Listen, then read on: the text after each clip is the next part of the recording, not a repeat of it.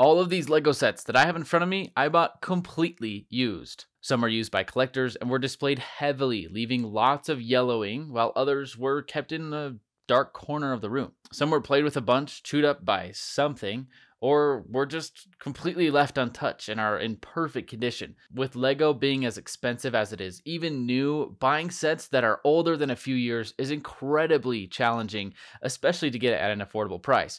So, is buying used worth it, or is it too dangerous and too stupid to try? Let's talk about it. Part 1 The Yellowing. These days, yellowing is just a part of LEGO life, especially with white pieces and lighter grays, which unfortunately LEGO Star Wars has a ton of. Unless highly protected, LEGOs on display will just catch the sun in a bunch of different ways, and will end up looking slightly more yellow than they were originally. But should that stop you from buying someone's used LEGO that's been on display? In that vein, it can depend on how used it actually is, like this boat that was left in the sun for many hours and looks like your dog peed on it. To this extent, the piece is more or less ruined. You can see where there were no pieces covering up the gray and it's just completely yellowed over. Other ways, the yellowing can be a little bit more subtle. You can take a picture with the right lighting, a certain angle, or the perfect white balance, and it'll look perfectly normal. But then by the time you bought it, it'll be too late, and you'll take it home to realize that your new white pieces look much whiter than this wing does. That can be a huge downside, but displaying LEGO is one of the best parts about it especially on shelves like this where you can see everything or display a bunch of stuff all together, it looks great. But doing this could potentially expose it to some yellowing. So can we really fault someone for having a slightly yellow piece? Not really. And therein lies the issue. If you want to display your Lego, if it's white or light gray, it probably yellows. But should that stop you from buying someone's used Lego set? I don't think so. That's the thing though. If yellowing is inevitable, no matter how you use your Lego set, then why does it matter if the one you buy is slightly yellowed used on Facebook Marketplace or on eBay? These things aren't meant to last forever, and they won't stay pristine forever either. That being said, they can be kind of annoying to clean. Part 2 Dust and Dirt. Blech, gross! Dust and dirt are a part of life, and unfortunately, they are a huge part of LEGO life, especially with the studs, Ugh, so gross. Dust can be a pretty big issue, especially when you're buying used. A lot of collectors might not want to have to clean up their stuff before they get rid of it. Some dust can be hard to see, especially on white. But do you want the hassle of having to clean that up if you buy used? But not just dust, any kind of dirt can be annoying to pull off Lego, especially if you have to take it all apart and wash it. This can be a problem with buying anything used, but you'll never quite know what that stain is. The dust and debris may vary, and some sellers are really good about cleaning sets, while others not so much. So you could end up with a finger like me, or you could end up with something really clean. But still, should that keep you away from used sets? Perhaps not. It may be dirty, but it's not impossible to clean, and you could get something for a really good deal if it's a little dirtier than other people would want to pay for. Or you could find something like this my Obi Wan Starfighter that looked exquisite upon arrival. And that's where another downside can come in.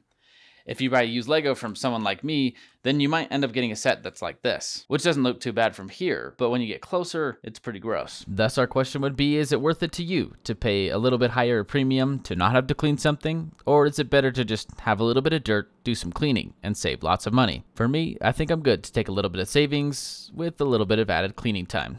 Part 3 Problematic Pieces. Some sets might be dirty but salvageable, where others, if you get the wrong pieces or not enough pieces, it can be a headache to try to part them out on Bricklink and figure out what you're missing. But unfortunately, the dirt and grum isn't always our number one worry. Sometimes we could get sets with missing pieces, or broken ones. Yellowing, dust, those are all done by nature, but broken pieces, or missing ones, now, those can just be disappointing. Some sets have specialized pieces and can get stressed out over time, like this seaweed. Sure, it's old, but we want good condition, right? Some pieces aren't too hard to find and can be really easy to part out on Bricklink. So, is it worth it to have a few missing pieces to save some more dollars? Then other pieces are heavily specialized and printed, and if those ones are scratched or scuffed, they can be extremely hard to replace. At that point, why save some money if you're gonna get something that's not going to work. At a certain point, there is good and bad with buying LEGO sets with not enough pieces, wrong pieces, or destroyed pieces.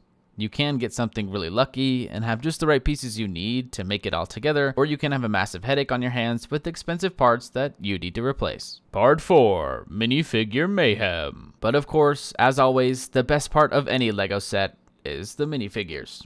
The minifig market seems to be larger than even the set market nowadays, and with so many used figures out there, there's a lot of sellers trying to scam you or just sell you something that's not really what it's supposed to be. There are also awesome, amazing sellers making available some of the hardest to find minifigures at decent prices. With that said, I think minifigures are one of the number one most things to be wary about when buying LEGO sets, because they could really come in many different shapes and conditions. Some minifigures could be absolutely flawless, chrome lightsabers intact, all of the printing, everything looks amazing.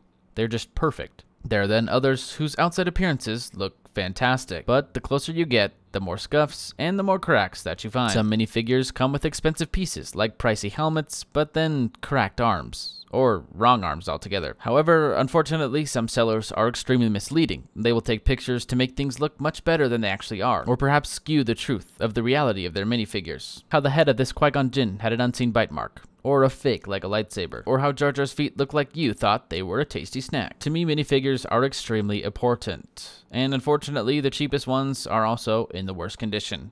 So, is it worth it saving a little bit of money to getting a figure that's not quite up to par? In this instance, I would say no. If you're going to buy used, make sure that the figures you buy are in much better condition than some of these. Definitely don't buy ones that have bite marks, and always watch out for sellers that are looking for a quick buck. With all that said, it doesn't sound like there are any good reasons to buy used Lego, right? But that's where you'd be wrong. Obviously, price is a huge reason to buy used Lego, and something we've touched on heavily already. But there's also another thing, and that's community. This box wouldn't even be in my possession unless it were for another collector just like me, who saved it for a really long time. To me, I don't see a dirty box, I see childhood memories. Sure, you can get that with something new, but the community aspect here is being able to share your love of LEGO Star Wars with someone else, or just any LEGO in general. And buying used can help keep some of this stuff out of the trash and right on your display shelf, keeping some of those memories fresh and new. Just look at these manuals, things that I wouldn't have unless a collector decided to keep them these old manuals that have since probably disappeared or would be really expensive to find in a new box, I can now have for a pretty cheap price. And I can enjoy LEGO with someone else who had the same hobby when I was a kid. This thing is from 2002, Lego used to include these in the box, and it's awesome. It showcases a whole bunch of Lego sets, and it's even a great way to buy used sets that you've never seen before, or figure out what you're looking for next. And that all comes from community, someone else sharing their love of Lego with you. Being able to pay a lesser price might just be enough for you. But I'd love to hear your thoughts in the comments down below. Are you only buying new sets? Are you willing to buy used? Hit that subscribe button down below, and let me know what you think. Thanks for watching, and we'll see you next time.